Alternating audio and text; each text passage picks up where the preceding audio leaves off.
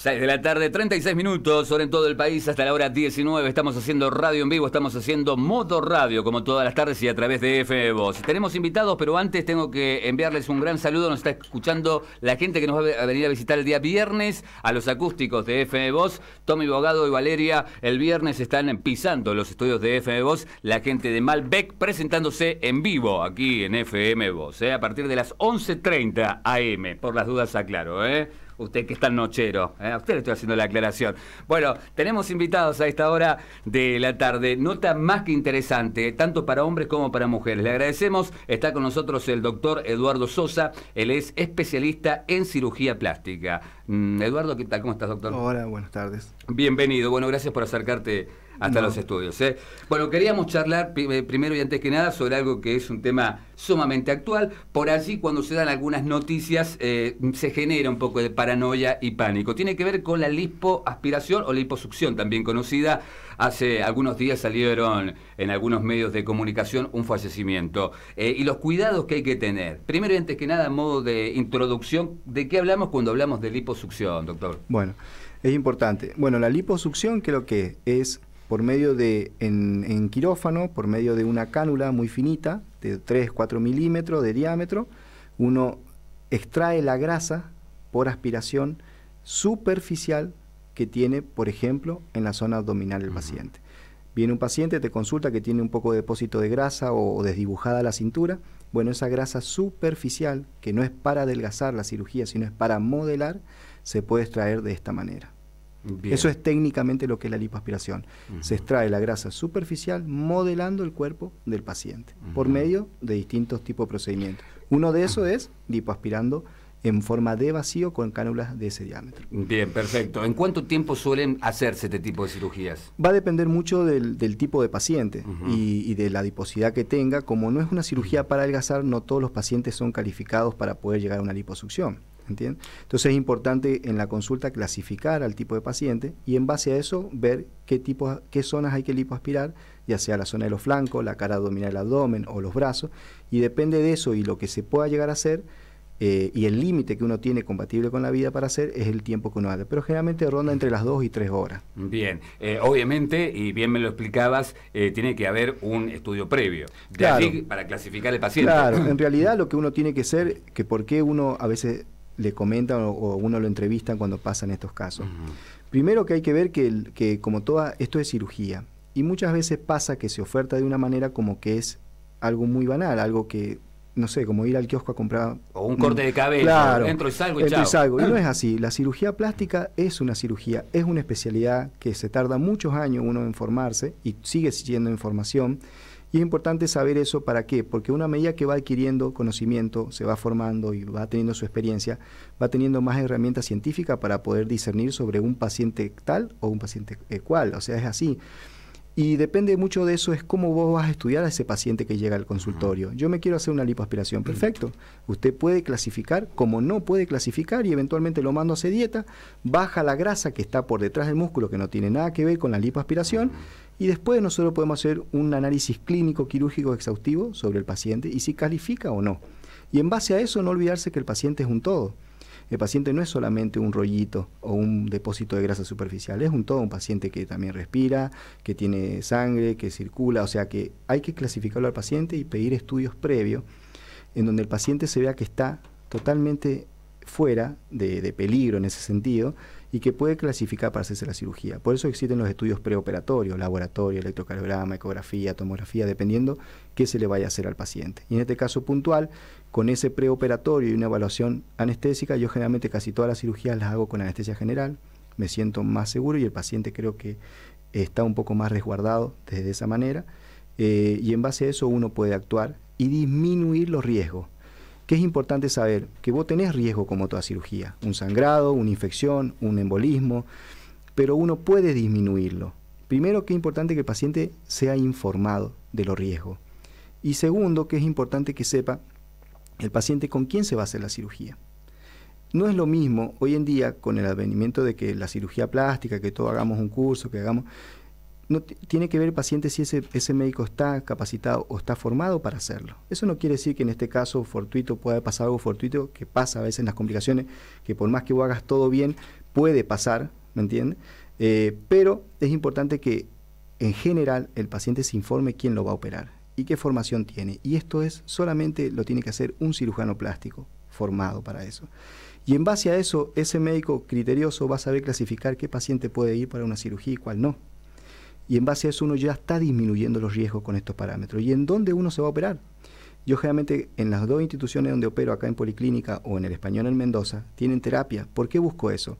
En la formación que yo he tenido, trato de resguardar la vida del paciente también desde ese lado. Ahora, ¿siempre necesitas una terapia? No, no pero vos por lo menos disminuís los riesgos haciendo ese ABC también. El cirujano, el tipo de paciente y dónde lo operás, con qué instrumentales, y eso va en la asistencia general del paciente. No pasa nada, pero como le digo antes, uno puede hacer todos los protocolos de prevención. Seguir al pie pero de la letra puede pasar. Algo fortuito puede pasar. Bueno, en base a eso uno puede actuar. ¿Dónde? Teniendo todos los medios.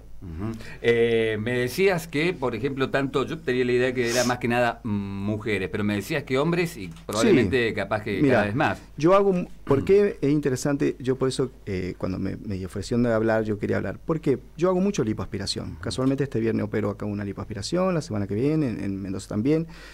Es una cirugía que tiene riesgo, obvio. Dentro de todas las cirugías plásticas, yo creo que con respecto de vida, tiene su riesgo elevado, pero uno puede disminuirlo para que no entre en pánico la gente y puede operarse también.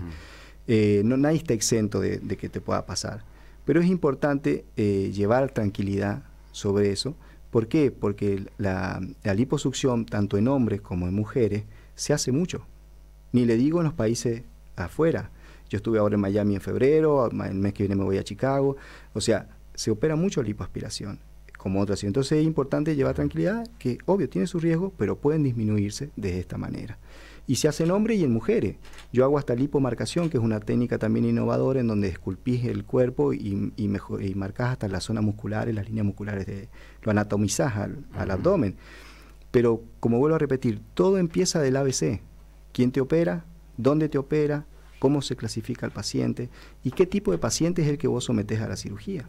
Por eso es importante el estudio previo, sin lugar a dudas. ¿eh? El análisis clínico quirúrgico, como esto es cirugía, por más que sea cirugía plástica, no deja de ser cirugía, es importantísimo. El diagnóstico clínico quirúrgico que haga uno con el paciente es muy importante. Y en base a eso va a saber qué hacer y qué no hacer para la prevención. ¿no es cierto? Eh, dentro de las cirugías plásticas, ¿cuál es la de mayor y menor riesgo? En realidad, es indiferente? Sí, va a depender mucho del tipo de paciente. Si no mismo operar un paciente de 25 años que un paciente de 65. Pero si las abdominales son las que por ahí llevan un poco de ventaja. Ya tanto una abdominoplastía, que cuando uno saca el exceso de cutáneo que, tiene el paciente, o la lipoaspiración, ¿me entiendes? Son cirugías de riesgo. Nunca uno tiene que disminuir la complejidad de ese paciente. Vos como cirujano plástico me decías recién que depende del chequeo que haces, incluso también podés pedirle que haga una dieta, se somete a una dieta. No, o lo rechazo, o no lo opero. Me prefiero cuidar al paciente, cuidarme yo, es así, porque uno también tiene que ver de que también hay que ver dónde uno eh, pone el, bisturí, como decía mi maestro, ¿me entiendes? Eh, o sea, primero no dañar, ¿me entiendes? O sea, uno tiene que saber cuándo decir que no. ¿Por qué? Porque te voy a repetir, está en peligro paciente. El paciente no es solamente un rollito, es un todo.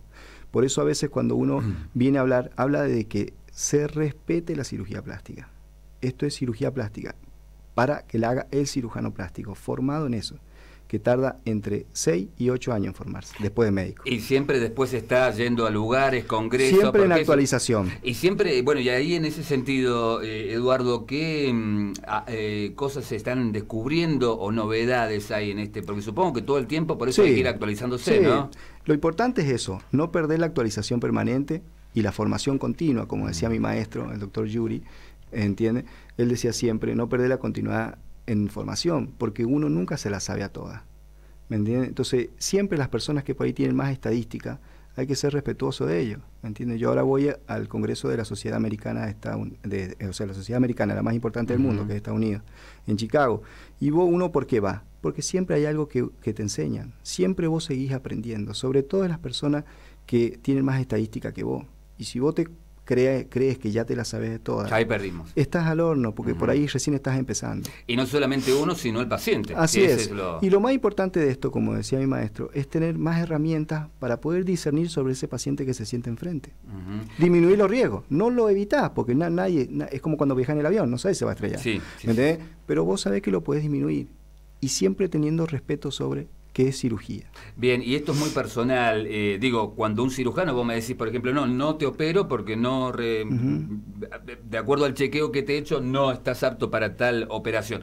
Así como hay profesionales que se determinan así de este modo y otros no. Eso hay que dejarlo bien en claro también, porque uno a veces engloba a todos en la misma bolsa. Así es, sí, sí, sí. Uno, lo más importante de esto es que se tome con seriedad la especialidad eh, y que el paciente entienda que puede disminuir su riesgo y no entrar en pánico si está eh, con un profesional que puede tener reunir las condiciones para poder ejercerlo en un lugar que sea apto para que realice. Eso es lo que a veces, yo por ejemplo, en mi opinión, y eso sin ofender a ningún colega, yo no hago internación de día. Yo no me gusta la internación de día, me formé en un lugar donde era muy estricto en eso, después tuve becado casi todo un año en Europa, que hacíamos lo mismo, me gusta que el paciente, casi todos los pacientes los, anestesio en forma general. Eh, tengo un buen equipo acá en San Rafael, en la Policlínica de Anestesista, en, el Español de Mendoza lo mismo, son muy excelentes. Y yo nunca he tenido, gracias a Dios, hasta acá un problema. Y siempre anestesia general, opero una nariz, opero una mama, opero un abdomen, y el paciente se tiene que quedar 24 horas. Así haya sido la cirugía en 40 minutos. Yo velo por que el paciente se vaya recuperado. Sí, que eso es lo importante y esa es una forma de disminuir cualquier riesgo. Porque lo tenés ahí o está en todo caso. Cualquier cosa, los riesgos siempre aparecen en la noche. Si un paciente te va a sangrar, te sangra la noche. y eso no lo digo yo, lo dicen desde Finoquieto, que es un cirujano general más famoso de la Argentina, en adelante. Entonces, uno tiene que ser muy, muy cuidadoso a la hora de evaluarlo previamente, del análisis clínico quirúrgico, de los estudios previos y también del post. No hay que olvidarse nunca del post porque el paciente, hasta que no te he recuperado, vos no estás exento que el paciente pueda complicarse. Bueno, clarísimo, doctor. Ya casi como para ir cerrando, eh, tengo entendido que son costosos estos, estas cirugías, ¿es así? Sí, son costosas. Hay veces cuando ya es muy barato, uno también tiene que dudar. Sí, ¿entiendes? claro. todo. tiene, tiene que ver, hay un término medio, hoy es muy volátil, uno puede cobrar y depende mucho de la experiencia pero también es importante saber que cuando ya es muy barato uno tiene que dudar también. En cuanto a estadísticas, no sé si la maneja eh, Argentina o, ya que trabajas tanto aquí en la provincia de Mendoza, eh, ¿es uno de los lugares donde la gente acude más a este tipo de cirugías? Mira, yo hace tres años y medio, casi cuatro que estoy en San Rafael. Eh, comparando con Buenos Aires o, con lo que he vivido afuera o que viajo a Estados Unidos. En Mendoza a medida que va pasando el tiempo, por lo menos lo que yo voy viendo, cada vez la gente consulta más. ¿Y sabes qué? Consulta mucho en cirugías que antes no se hacían. Yo opero mucho nariz, opero mama, pero por ejemplo, me ha pasado que pongo prótesis de pantorrilla, que antes eso no se veía. Y yo eso lo aprendí en, Europa a través de una gente de México.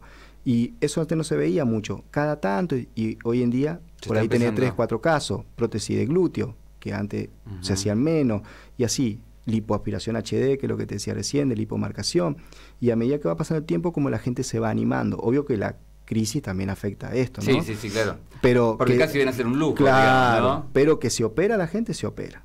Eh, así te lo digo, o sea, no es que no se opera, se opera y cada vez más, sobre todo en la mujer, eh, va teniendo, que yo felicito a eso, va teniendo más derecho, se va imponiendo más y eso ha hecho también de que se anime más y eso la verdad que es muy gratificante, sobre todo en, las luchas personales que ella tiene. ¿no? Bien, perfecto. Le agradezco mucho, doctor. Ya casi se nos ha ido el programa. Eh, sí es importante eso, de la consulta al profesional, por supuesto, eh, el chequeo previo, de ahí más el, profesional sabrá cómo llevar adelante eh, cada caso porque es un individuo. Así y así hay que tratarlo.